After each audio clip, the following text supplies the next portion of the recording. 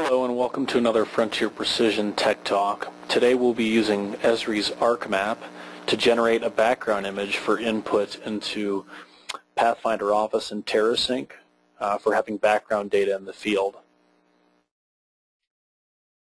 We need to be connected to the web to do this and first we're going to go to the Add button, add data from ArcGIS Online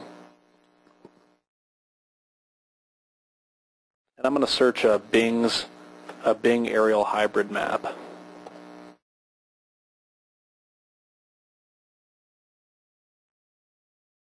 Once you found it, go ahead and click the Add Data button.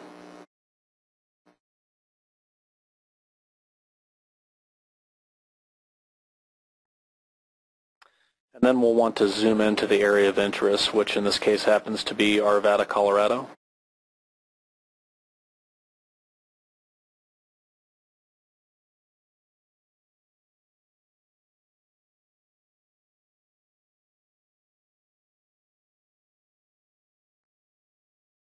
We'll let this go ahead and be our area of interest. The next thing we want to do is we want to change the data frame projection to WGS84, which is what Pathfinder is going to want to see, and it just makes things easier toward the end. By default, it's in a Web Mercator auxiliary sphere coordinate system, which is a projected coordinate system, because GPS only knows WGS84 and a non-projected coordinate system, we'll go ahead and choose that by going to GCS, World, WGS84, OK. Now, this is still the area we want to work within. We want to go to File, Export Map. Here I typically recommend TIFF files, and I like to do about 150 dots per inch, but you can play around with this and make sure that it's what you like. We're going to go ahead and put it on the desktop for now, and I'm going to write a world file to it.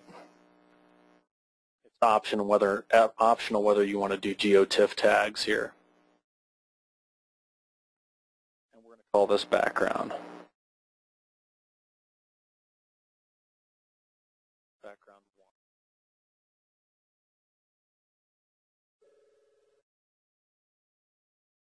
At this point, it's saved to the desktop. Go ahead and close ArcGIS. No need to save. Let's go ahead and open up Pathfinder Office. Within Pathfinder Office here, we want actually we want to just step back here and look at the coordinate system and confirm we are in lat long WGS 84. File background. Let's go ahead and add that TIFF sees us at the desktop. Here's our file. Open. Remember or remind us to set the correct coordinate system. Again, if you choose to export in a different coordinate system such as state plane or UTM, um, you could do that as long as you're matching apples to apples from Esri to Trimble software. So now that we've added that in the list, let's go ahead and hit OK. And there's our image. This is ready to be deployed to our device. At this point, we could actually connect up to a device, which I'm going to plug in my Geo, just to confirm. Connected here. I'm going to go to Utilities Data Transfer. Confirm that I'm connected to my Geo, and I'm going to send a background file over to the unit.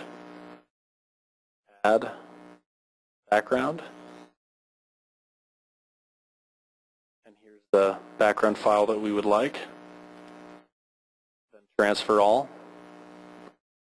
Depending on the size of the image, this may take a little while.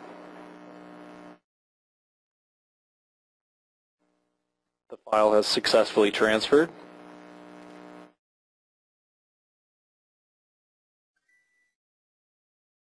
We actually go to our map, and then within layers,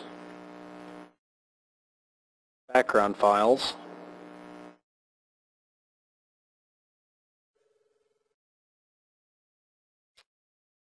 and background 1. I'm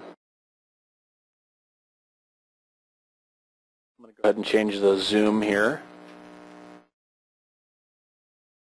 We're going to click Done. We've selected our background file. And now our background file is loaded and rendered on our TerraSync mobile device here.